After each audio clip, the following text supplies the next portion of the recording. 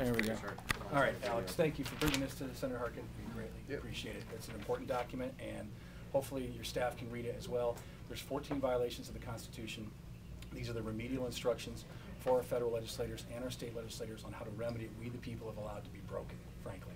And uh, there's good backstory there. The, we, the people, have petitioned the federal government for 15 years now for a petition of redress of grievances, which the last 10 words of the First Amendment say that the government shall not infringe on our right to petition for a redress of grievance. The U.S. Court of Appeals has said, no, we don't have, a, the government does not have the um, mandate to respond to those petitions. And so we're at a crossroads here. And this is where we, the people, are checking the box to peacefully procure the relief that we're seeking with regards to ending the violations to the Constitution.